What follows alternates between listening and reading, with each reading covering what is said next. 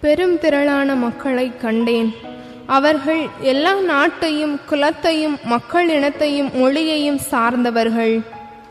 திருத்தூதர் யோவான் எழுதிய திருவெளிப்பாட்டிலிருந்து வாசகம் அதிகாரம் ஏழு இறை வார்த்தைகள் இரண்டு முதல் நான்கு மற்றும் ஒன்பது முதல் பதினான்கு முடிய.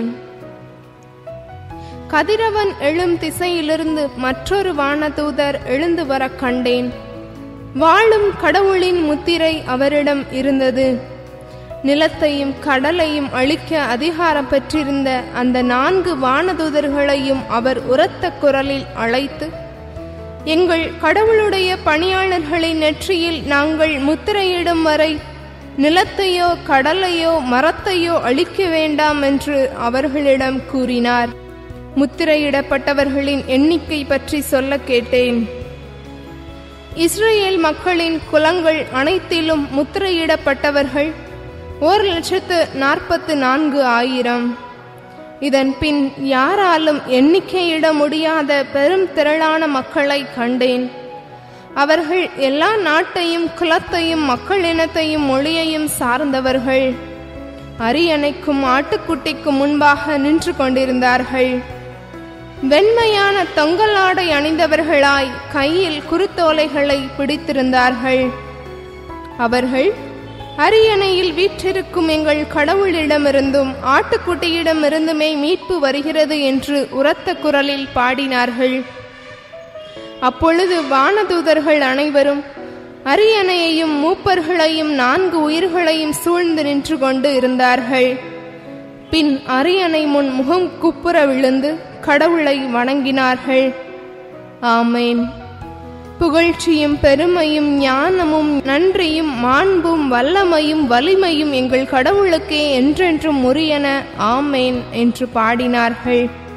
மூப்பர்களுள் ஒருவர் வெண்மையான தொங்கலாடை அணிந்துள்ள இவர்கள் யார்?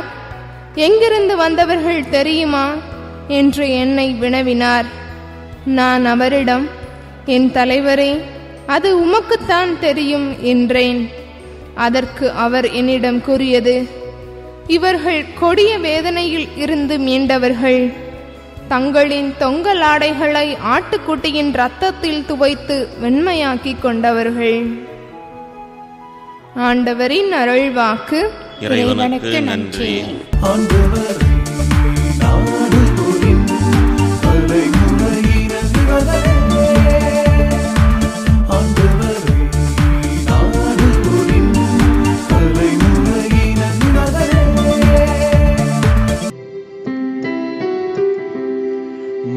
உலகும் அதில் நிறைந்துள்ள அனைத்தும் ஆண்டவருடையவை. நில உலகும் அதில் வாழ்வனவும் அவருக்கே சொந்தம். ஏனெனில் அவரே கடல்களின் மீது அதற்கு அடித்தளமிட்டார். ஆறுகள் மீது அதை நிலைநாட்டினவரும் அவரே. ஆண்டவர்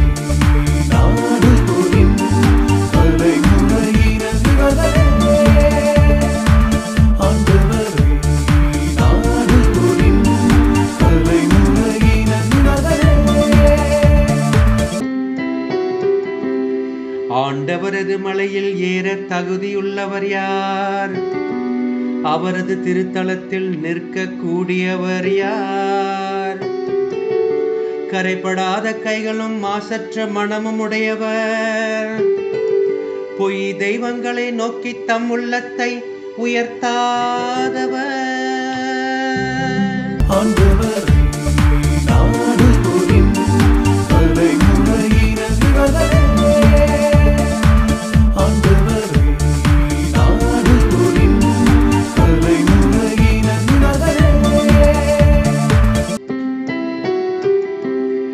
அவரே ஆண்டவரிடம் ஆசி பெறுவார்.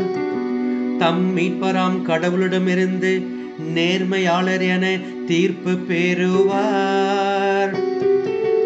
அவரை நாடுவோரின் தலைமுறையினர் இவர்களே. யாக்கோவின் கடவுளது முகத்தை தேடுவோர் இவர்களே.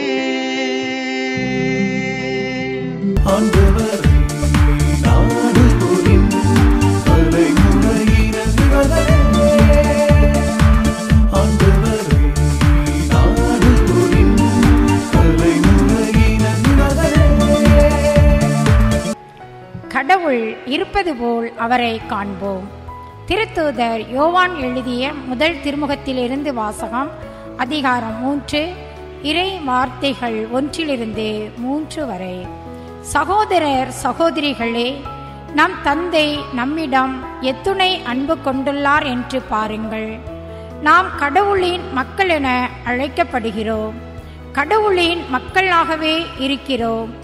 உலகம் அவரை அறிந்து கொள்ளாததால்தான் நம்மையும் அறிந்து கொள்ளவில்லை. என் அன்பார்ந்தவர்களே இப்போது நாம் கடவுளின் பிள்ளைகளாய் இருக்கிறோம். இனி எத்தன்மையராய் இருப்போம் என்பது இன்னும் வெளிப்படவில்லை. ஆனால் அவர் தோன்றும் போது நாமும் அவரைப் போல் இருப்போம். ஏனெனில் அவன் இருப்பது போல் அவரை காண்போம். அவரை எதிர்நோக்கி இருக்கிற அனைவரும் அவர் தூயவராய் இருப்பது போல் தம்மையே தூயவராக்க வேண்டும். ஆண்டவரின் அருள்வாக்கு. இறைவனுக்கு நன்றி. அல்லேலூயா அல்லேலூயா. பெருசுமை சுமந்து சோர்ந்திருப்பவர்களே எல்லோரும் என்னிடம் வாருங்கள். நான் உங்களுக்கு இளைப்பாறுதல் தருவேன் என்கிறார் ஆண்டவர். அல்லேலூயா. ஆண்டவர் உங்களோடு இருப்பாராக. உம் ஆன்மாவோடும் இருப்பாராக. புனித மத்தேயு எழுதிய பரிசுத்த நற்செய்தியிலிருந்து வாசகம். ஆண்டவரே மாட்சி உமக்கே. மத்தேயு எழுதிய நற்செய்தி ஐந்தாவது பிரிவு பிரிவு ஐந்திலே முதல் பனிரெண்டு வார்த்தைகள். அக்காலத்தில் இயேசு மக்கள் கூட்டத்தைக் கண்டு மலை மீது ஏறி அமர அவருடைய சீடர் அவர் அருகே வந்தனர். அவரோ திருவாய் மலர்ந்து கற்பித்தவை. ஏழையரின் உள்ளத்தோர் பேறு பெற்றோர் ஏனெனில் விண்ணரசு அவர்களுக்கே உரியது. துயருருவோர் பேறு பெற்றோர் ஏனெனில் அவர்கள் ஆறுதல் பெறுவர். கனிவுடையோர் பேறு பெற்றோர் ஏனெனில் அவர்கள் நாட்டை உரிமை சொத்தாக்கி கொள்வர். நீதி நிலைநாட்டும் வேட்கை கொண்டோர் பேறு பெற்றோர் ஏனெனில் அவர்கள் நிறைவு பெறுவர். இரக்கமுடையோர் பேறு பெற்றோர் ஏனெனில் அவர்கள் இரக்கம் பெறுவர். தூய்மையான உள்ளத்தோர் பேறு பெற்றோர் ஏனெனில் அவர்கள் கடவுளை காண்பர்.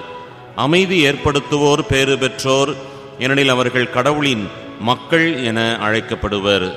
நீதியின் பொருட்டு துன்புறுத்தப்படுவோர் பேறு பெற்றோர் ஏனெனில் விண்ணரசு அவர்களுக்கு உரியது. என் பொருட்டு மக்கள் உங்களை இகழ்ந்து துன்புறுத்தி உங்களை பற்றி இல்லாதவை பொல்லாதவை எல்லாம் சொல்லும்போது நீங்கள் பேறு பெற்றவர்களே. மகிழ்ந்து பேருவகை கொள்ளுங்கள். ஏனெனில் விண்ணுலகிலே உங்களுக்கு கிடைக்கும் கைமாறு மிகுதியாகும். கிறிஸ்துவின் நற்செய்தி. கிறிஸ்துவே மக்கு புகழ்.